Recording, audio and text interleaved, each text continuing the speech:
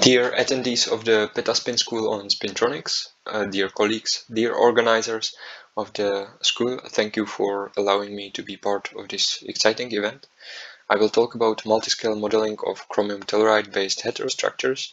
My name is Libor Vojacek and as you can see, I enjoy spending my time outdoors. I come from Czechia and I'm doing uh, my PhD in Grenoble in France, uh, which is a nice city in between, between uh, three uh, mountain chains with the Alps in the east. And uh, the city itself is actually completely flat so it's very bike friendly. And uh, there are winter olympics and they have a local spirit called chartreuse developed by the monks uh, for 200 years. Maybe you will come for a beam time uh, at the esrf synchrotron and this area hosts about 10,000 researchers from both private and public sector I'm doing my PhD at SPINTEC in the group of theory and modeling of Professor Mairbek uh, Chshiev, and uh, the topic is on multi-scale modeling for spintronic devices. Today's project is a collaboration with our experimental colleagues at the 2D Spintronics group of Dr. Mathieu Jamet. Why multi-scale? We start from uh, ab initio DFT calculations, which are uh, systems uh, typically in length scales of several nanometers maximum and we can build approximative models to uh, simulate uh, magnetization dynamics or transport uh, in larger scale systems several uh, tens of nanometers. I will talk about these packages but first let me motivate 2D materials for spintronics uh, then tell bit about chromium telluride, its structural and magnetic properties, and then uh, its heterostructures with other 2D materials.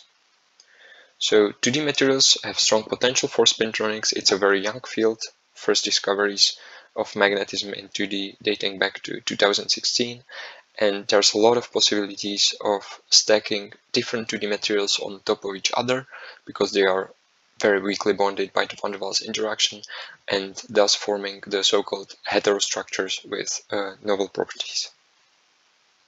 Chromium telluride is a, a van der Waals uh, layered uh, magnet.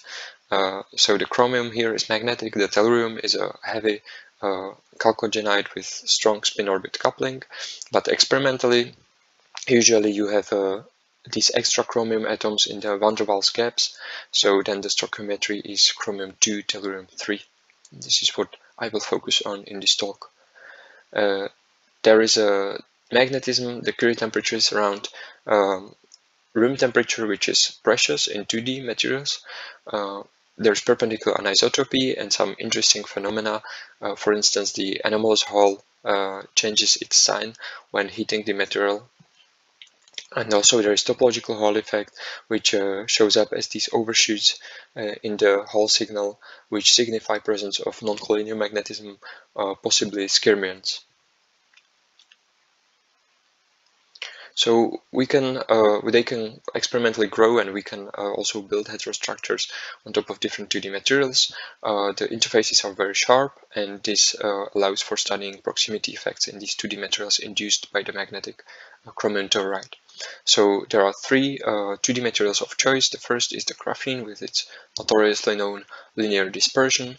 Then tungsten diselenide, which is a 2D semiconductor and there is some spin-dependent valley effect and uh, lastly bismuth telluride which is a topological insulator so in the uh, bulk gaps there is uh, um, surface states with linear dispersion which are metallic so we can uh, interface uh, these materials and build these heterostructures we start from uh, ab initio calculations in DFT, getting the ground state, and uh, we did an extensive study of which parameters approximations are uh, appropriate in this case.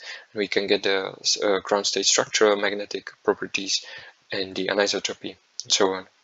Uh, but first, we uh, determine the stability of the termination. So there are four possibilities, and we calculate that uh, the one that is stable is the one with the complete chromium telluride uh, layer at the interface.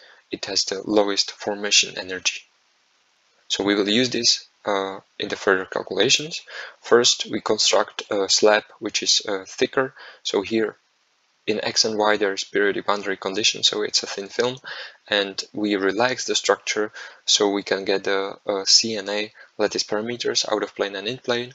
And we compare with experiment getting a very nice uh, match we can uh, include the spin-orbit coupling and uh, calculate the magnetic anisotropy uh, and see how it varies with the strain. And again, well, we see that um, at the relaxed bulk chromium to telluride, the anisotropy is perpendicular, so meaning out of plane, and this matches the experiment uh, again. Then uh, we can transform the ground state from uh, VASP to uh, the so-called Wannier functions. So in uh, plane wave codes like VASP, typically we have uh, the ground state in form of plane waves and then we can perform kind of Fourier transformation it's a bit more complicated, but we get uh, localized basis in the real space, and this can be very useful uh, because then we can get the exchange uh, coefficients and DMI.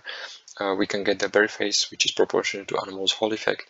We can build tight binding models for further uh, transport calculations. So first we need to make sure that the Wannier model uh, matches the original DFT and uh, as you can see it does. And we also uh, coded a procedure to get the root mean square error of uh, these energies between the DFT and Wannier and we see a value that is less than 2 millieVs which is uh, very good. And uh, we can use this uh, model for the exchange uh, calculation. So with the TB2J package, uh, we can do this. Uh, it constructs uh, Green's functions from these Wannier functions, and then it can employ the Lichtenstein uh, perturbative uh, formula to get the exchange coefficients uh, at arbitrary distance.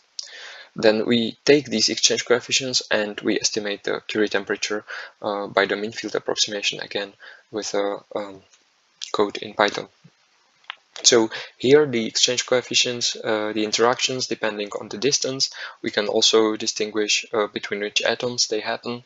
So here we see um, some competition of uh, negative antiferro and positive ferro exchanges. For example, this intercalated chromium has very large exchange of different sign with these different atoms and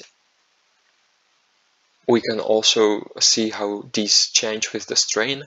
Uh, we see that the strain, which is out of plane, weakens all these interactions, both the positive and the negative. So we can estimate the uh, Curie temperature based on the mean field. Uh, and what we see is a very large overestimation of the Curie temperature uh, compared to experiment. So uh, to make sure that uh, the exchange values are correct, we repeat the calculation in a different uh, ab initio code based on, on green functions. Uh, we need to take the structure from VASP because it can do structure relaxation. And uh, we can recalculate and we see a qualitatively very similar result also including the effect of strain. And we can estimate the Curie temperature again.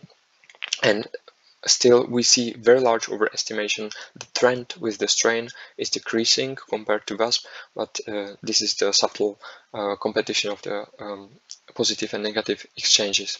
So maybe the mean field approximation is not accurate enough. So we uh, also take these exchange coefficients and we perform calculations, uh, Monte Carlo simulations with the Vampire package, which can give you temperature and field effects, also spin textures in real space.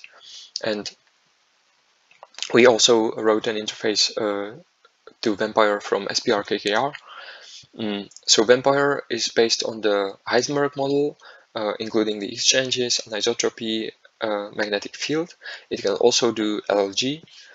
Uh, and uh, if we do this, we construct films of different thicknesses. We see that the Curie temperature is really lower.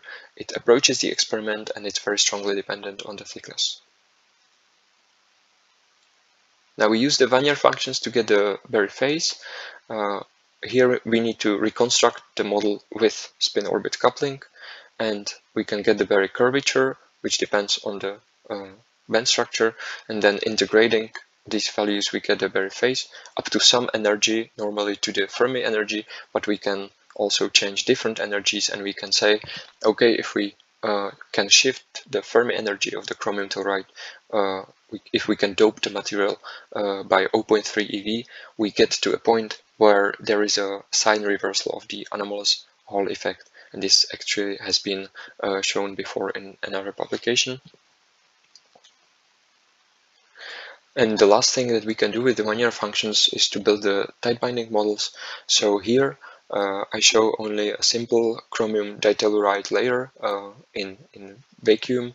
And here uh, this is the cut at Fermi energy uh, in the reciprocal space. And the arrows are the spin components in x and y. And uh, the color is the out of plane spin component. So you can see uh, some centrosymmetric Dresselhaus like uh, spin orbit coupling and then we apply electric field and we break the reverse symmetry and we see a very nice circulation appearing which is a signature of the Rashba effect which is important for uh, spin uh, current uh, for inducing spin current. Uh, so we built a model from this uh, ground state calculation with the again with the Wannier tight binding uh, basis and with this we can further perform uh, spin orbit torque calculations which is the which is the plan now uh, this was all about chromium telluride itself. Uh, we also built the interfaces with the different 2D materials, as I said. And here uh, I just uh, showed the graphene one. Uh, we look at the magnetic moments. So we can say that at the interface, the tellurium and chromium atoms have very similar magnetic moments as further in the bulk, while the carbon, of course, uh, the graphene is uh, non-magnetic. So there is not strong effect on the magnetic moments from the interface, but uh, what we do see is a very strong charge transfer, especially in the case of graphene. Um, here, doping um, the chromium telluride by about 0.4 uh, electrons, which also causes a large dipole formation at the interface. And this might uh, actually explain uh, some peculiar effects that our experimental colleagues see uh, in the transport uh, measurements with chromium telluride on graphene. So to conclude, 2D materials are very attractive for spintronics and numerical simulations uh, can help a lot uh, because uh, the experiments in 2D are uh, often very challenging. So uh, calculations can guide and explain uh, phenomena. We see that chromium telluride indeed has very rich spintronic and magnetic physics. And we employed multi-scale computation tools to, to calculate these effects, uh, going from ab initio to atomistic uh, simulations where we can uh, calculate the magnetic and structural properties. And with this, I would like to thank you for your attention.